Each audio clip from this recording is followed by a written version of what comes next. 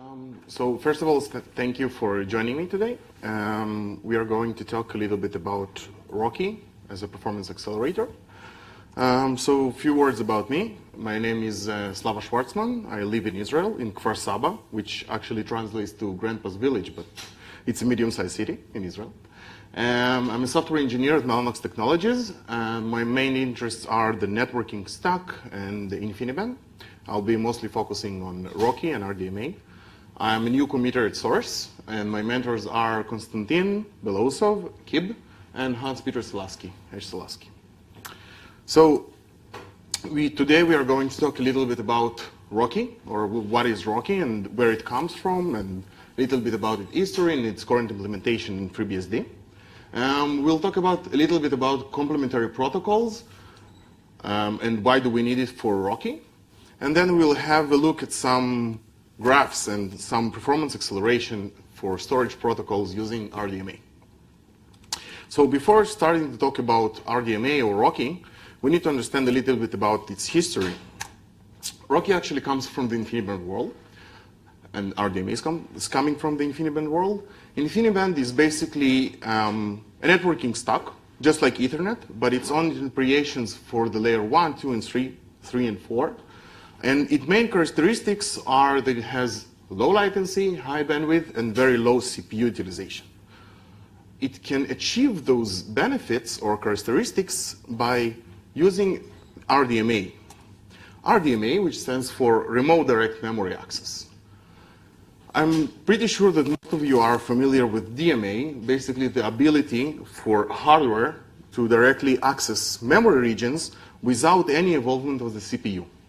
RDMA basically allows remote direct memory access, basically allows the HCA to access memory on remote hosts the current implementation of RDMA allows hardware offload, basically packet processing in the hardware instead of doing them in the kernel itself.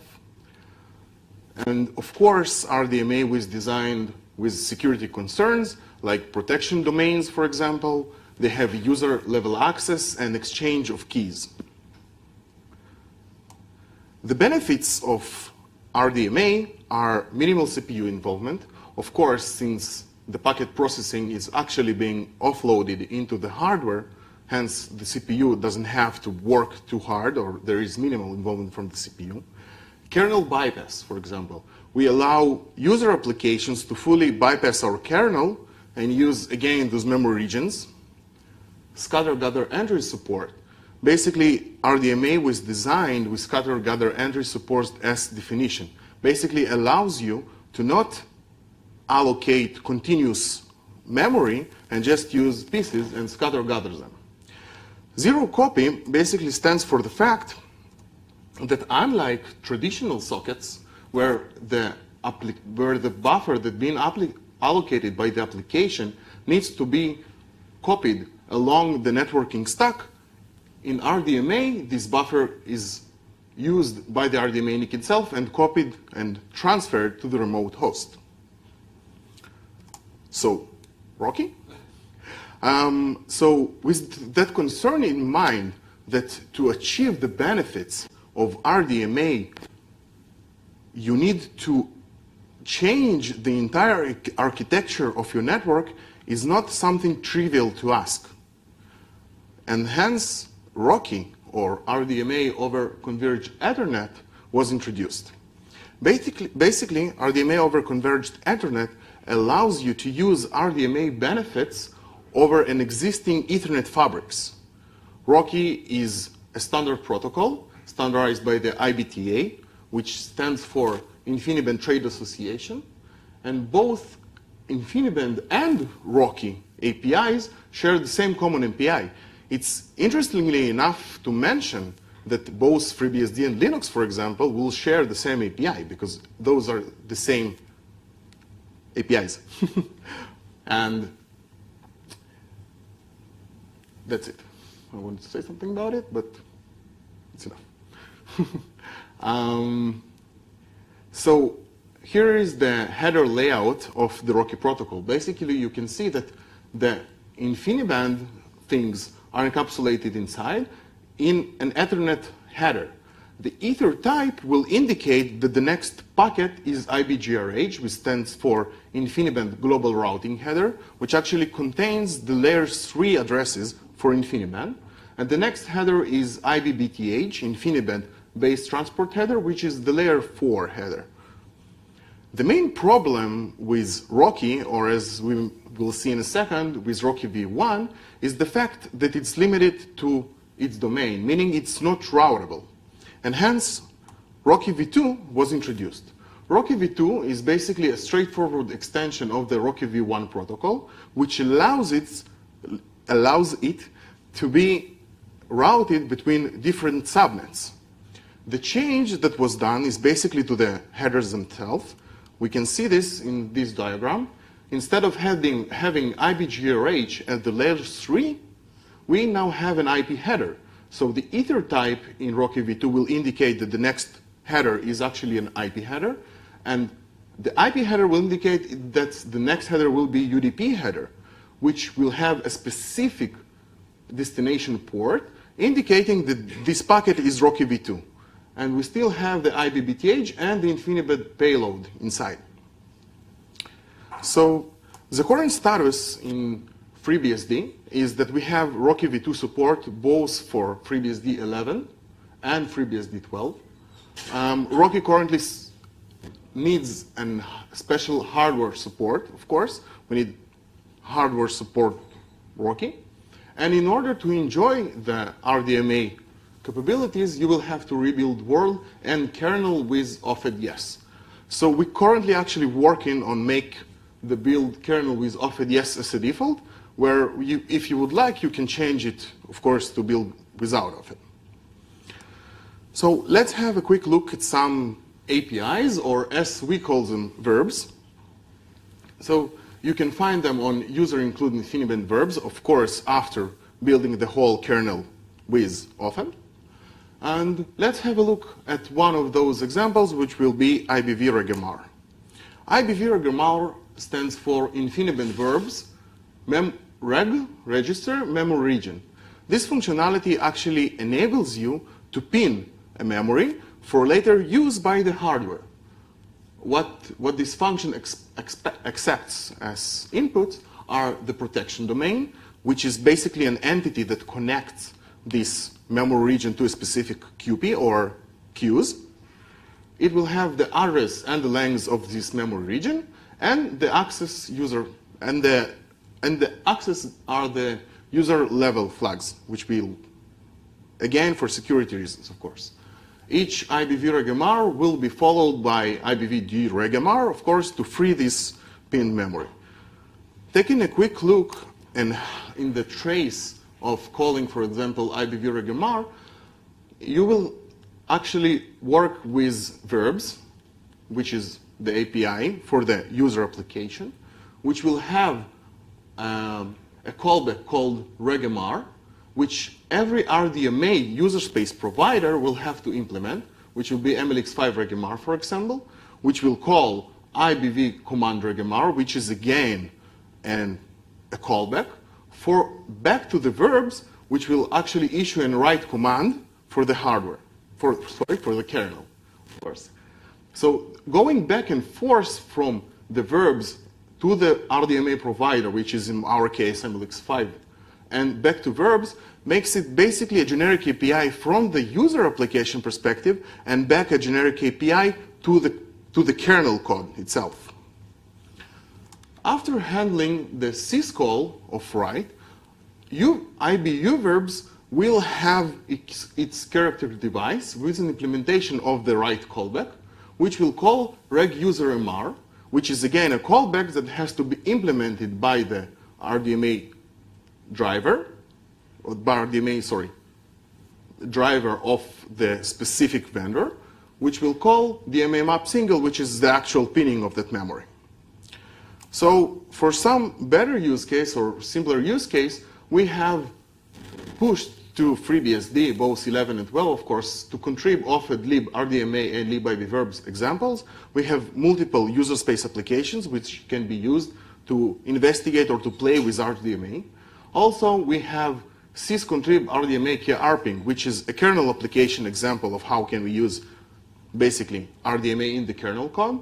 And recently, actually, thanks for Philip, we just pushed the perf test, which is a micro benchmarking tool for RDMA. Questions so far? Awesome.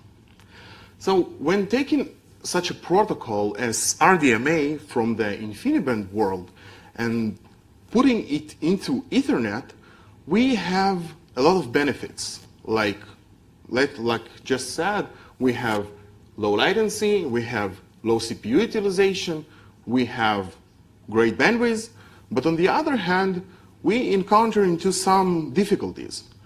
One of those difficulties is the fact that Ethernet is a lossy fabric. In the next part, we will talk what, what does it mean that Ethernet is a lossy fabric, and how can we manage that by introducing a few complementary protocols. And why do we care about it for RoCE, for example? So the fact that Ethernet is a lossy fabric means that Ethernet allows packets to be dropped when buffers overflow. And actually, Ethernet is using this to indicate that a congestion, a congestion has occurred in the fabric. From RoCE perspective, when a packet is being dropped, since everything is being offloaded to the hardware, it means that there is a firmware flow, which is very expensive from performance perspective. And another thing that I will demonstrate in the upcoming slide is what exactly is being happening when this retransmission happens. So we can manage those packet loss by or those congestions in two manners. First of all, we can improve the hardware to work faster when retransmission flows are needed. Basically, we were working on this on ConnectX 6, and I'll explain what is the difference between what's going on now and what is planning to do. Or the other approach can be to do a congestion control on the link layer. So from RoCE perspective, when a packet is being dropped, PSN stands for packet sequence number. When you see, for example, if PSN number two was dropped, we will have to retransmit not only this second packet, we will have to, have to retransmit everything from this packet and on. This is again because of the way that RoCE works. Important thing to notice is the fact that in InfiniBand world, this is the difference between InfiniBand and Ethernet, there is no such thing as packet loss, basically. The, the idea of InfiniBand is a little bit different. They work with something, they exchange data to transmit as much as can by some different algorithm that, if you'd like, we can talk a little bit about later. But basically, the problem that in Ethernet, we will have to retransmit everything from this packet and on. One of the mechanisms to avoid that or to manage that will be flow control or global pause. Basically, what global pause means that whenever the buffer will reach a certain threshold, a special packet called pause will be sent to, from the receiver to the sender side, asking him to completely stop any traffic. Of course, global pause is a link flow, a link level flow control, and I'll explain it in a second how it works. So basically, let's imagine that we have single receiver and multiple transmitters to the same receiver guys.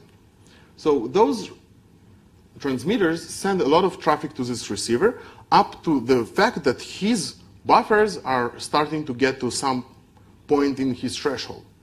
When this happens, this guy will send a pause frame, but instead of sending it for each of the senders, he will send it to the switch, which is directly connected to him. And only when his buffers will get to this certain threshold, he will send a pause frames back to the senders, asking them to stop down. The problem, basically this is a high level view of that. The problem with that, that when we have multiple senders and single receiver, we have multiple types of flows. And each of these flows has its own thing. So for example, if we don't want a specific flow to be paused at all, for example, if we have video traffic and, I don't know, HTTP traffic, for example. So we need a way to distinguish between those flows and deal with that. One of the approaches to do this will be priority flow control, or PFC. So basically, we have something called PCP, which is a priority code point. It's a mechanism to put a priority inside the shim, inside the .1q shim, which is called also called a VLAN header, and to distinguish between different types of flows. In this mechanism with PFC, instead of stopping all the traffic at once from the sender side to the receiver, we can stop each and every priority.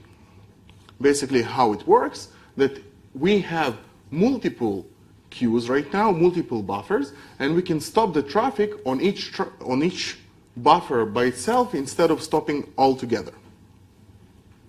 Again, this protocol, PFC, is link level, just like the previous one, just like pause. So two problems with both PFC and global pause is the fact that first, it's link level, and the second one, that the granularity is not that good. Still, we have only eight priorities. And the third, but maybe a little bit different thing, is the fact that in PFC and global pause, what will happen is that we will stop sending any traffic at all, meaning we, instead of slowing down.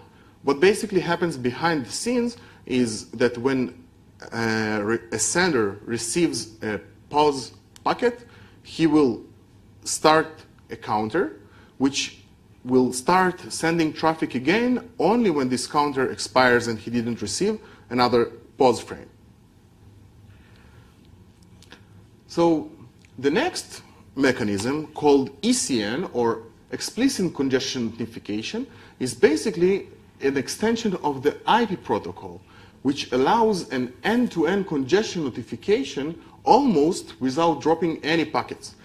This mechanism works a little bit different. It uses DCQCN, which is very much like RED, and RED stands for Random Early Detection. Basically, the idea is that instead of sending a, a pause frame or a pause asking for the sender to slow down his traffic on a certain threshold, using red, what happens is that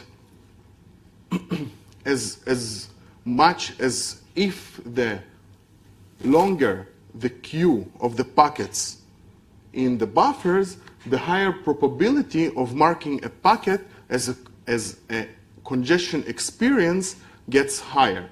Basically, unlike PFC and global pause, what happens with ECN that the intermediate devices like switches and routers can mark a specific flow that a congestion has occurred and when the receiver side will get this packet, a regular packet from the flow with congestion experienced, he will send a special packet called CNP, or congestion notification packet, to the sender side asking him to slow down.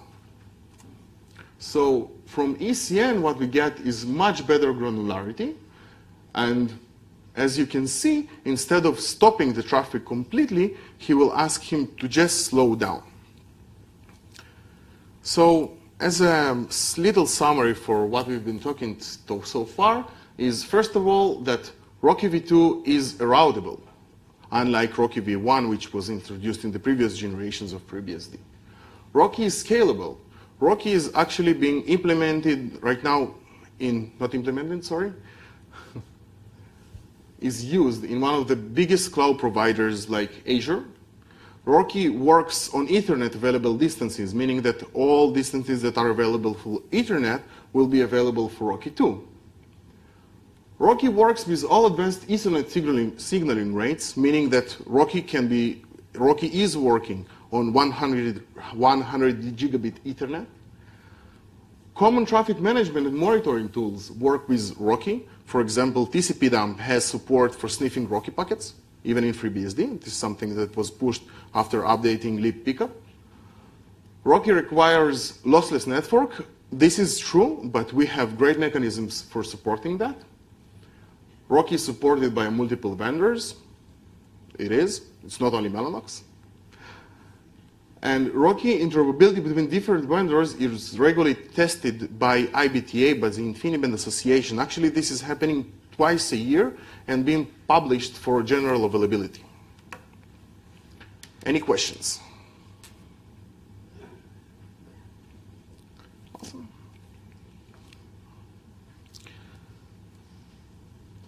So RoCE has a lot of application. We can, we can accelerate MPI applications, for example. We can accelerate HPC applications. And one of the interesting points that we have is that RoCE can accelerate storage protocols.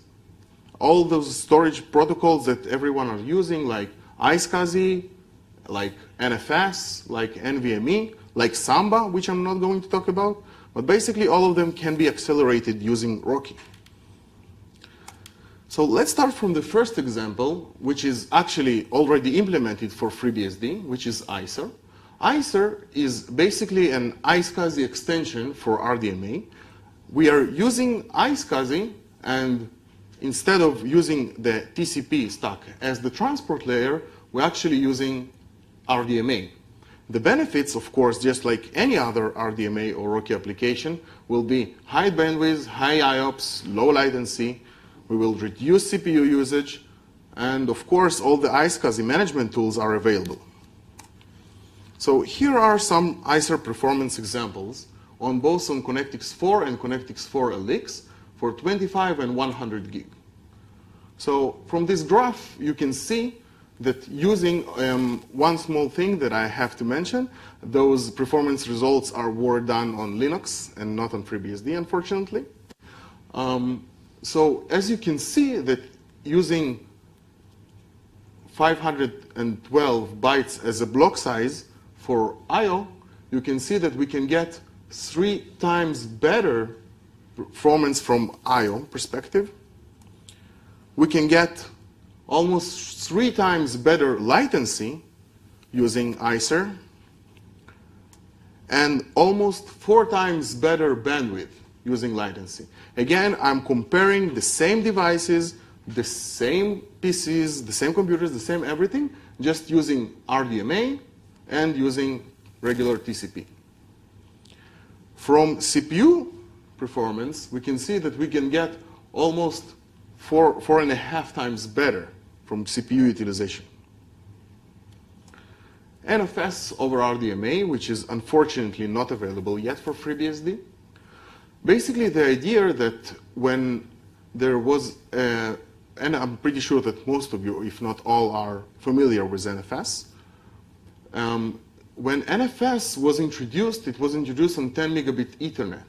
And the migration to 100 megabit actually showed much performance improvements. On the other hand, the next generation didn't show that much improvement. On the other, from, and from the CPU utilization perspective, NFS was much worse when migrating to faster networks. So here I'll show some performance results done by Oracle, actually. So you can see again that we gain almost four times better on the read IOPS and much better on the write. You can see that almost three times better, both on 16 was on one thread, sorry, and on six threads, as you can see here, using big block sizes. And for 4K and 8K, we see the same picture basically from NFS over RDMA point of view. The next protocol that I would like to talk about is NVMe over Fabrics, which again is unfortunately not available for FreeBSD yet. Um, basically, NVMe is non-volatile memory express, allows you to have an SSD device basically attached to your PCI. NVMe over Fabrics allows you to write using RDMA to NVMe devices from remote. So here are some performance measurement for ConnectX-5, for example. And from this graph, you can see that the performance for doing an NVMe device, meaning NVMe over Fabric, is almost like doing a local write. And again, from throughput and IOPS perspective, you can see that using NVMF or NVMe over fabrics, we can get to up to 4 million IOPS on small block sizes, and we get to almost saturating the whole link in 4K.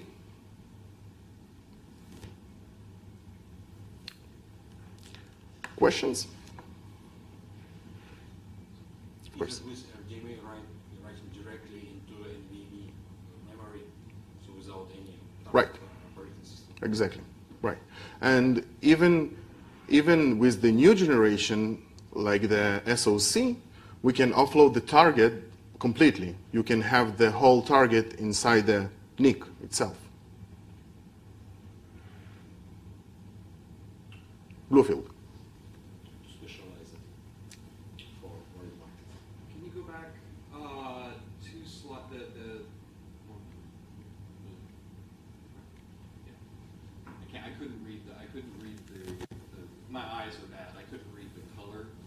Which one? What each color means? So um, the blue one is RDMA write IOPS. Okay. The orange one is IP over IP write IOPS. Okay. It's it's actually not comparing real TCP to R, to RDMA. It's basically comparing IP over IP to RDMA. And then RDMA. RDMA read IOPS and IP over IP read IOPS. It's read write and RDMA versus IP over IP. Yes, of course.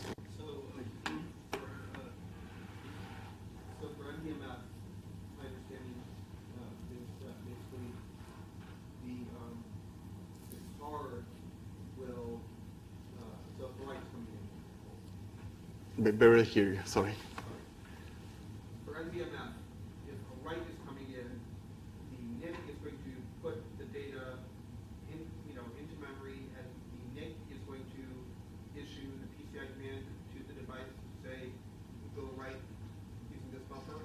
Um, so I'm not an NVMe expert, but as far as I understand how it works is basically that by using the NVMe protocol, first of all, we have to understand that NVMe is not SCSI, right? Yeah. NVMe is NVMe. So as, as far as I understand, when we get the NVMe message on, on the wire to the card itself, it will just put the, the data or the buffer directly on the NVMe device over the PCI instead of going up to the CPU and back.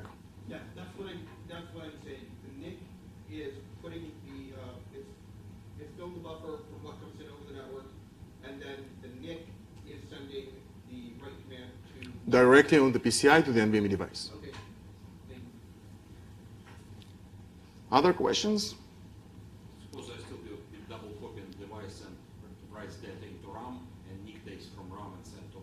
So, so th this is the point that I'm not sure about and I want to commit to. But as far as I understand, there will not be there. No, there. No CPU intervention, but this double DMA. So I'm not sure if there will be a double DMA. Th this is what I'm not sure about, but I think that it will be a direct DMA to the NVMe device itself. But this one I'll have to check because I'm not sure about it. Of course. You mean RoCE multicast? RDMA multicast, basically. Yes. Yes. Yes. And actually, we have the MCKey application located in the same place. I think it's under RDMA applications, under libRDMA. And MCKey is basically um, a user space application which uses multicast for RDMA traffic.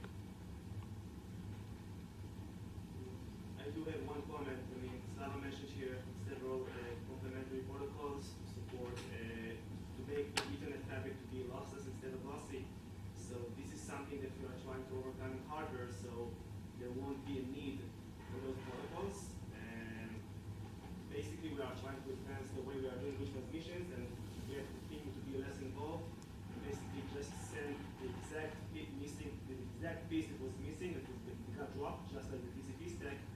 that will reduce the need for uh, complementary protocols. So, you know, future generations in ConnectX 6LX and, and, and beyond and, and onwards, we won't, we won't, we won't need them for, for Yeah, Is it what's called iWARP or is it? no, No. It's a different, uh, it's a different protocol. It's also based on RDMA, and we are not an expert. Here's the expert Flyro. and iWARP is TCP, but like, what, what, uh, go to multicast, but then it gets all this uh, kind of, it's like this. It doesn't have any hard requirement from the So, so basically, what will happen, just like I demonstrated in the next generations, instead of resending everything from the, the lost packet and, and force, we can just resend the lost packet itself instead of resending everything. This is what Manny was trying to describe about the next generations. no, I mean, keeping the same protocol will just make recovery more efficient. Right. But, but still, But- but- better to, to not lose anything. Right, of course. So, so basically about the complementary protocols, the, the best practice that we recommend will be to use PFC or global pause, which is of course PFC because it has better granularity, and ECN. Because ECN still allows a little bit of traffic to be dropped, and when using global pause, there is no chance, or PFC of course, there is no chance for traffic loss. Um, ECN is implemented in hardware, for example. Yes, of course. So the, uh, packet which contains the ECN bits, that's the, um, that's the act that the uh, receiver sends to say, I got that packet, but I'm also getting full slowdown. So I'll, uh, I wasn't sure if I have enough time to talk about ECN because ECN is, but I do have. So so talk about uh, about it a little bit. So what happens with ECN? That first of all, the if you like have two servers connected back to back, you will not have ECN at all. So what happens with ECN that the intermediate devices, the switches and the routers, must support ECN. What basically happens is when the threshold in the intermediate devices buffers gets to a certain point, this packet will be marked, like both bits will be um, turned on, and when the receiver side will get a, a, a regular packet with those two bits on, by in hardware it will generate those special packet called CNP, which is a congestion notification packet, sending it directly to the sender, asking him to slow down the traffic. Okay, awesome. Any further questions? So I think that's it. Thank you everybody for joining me today.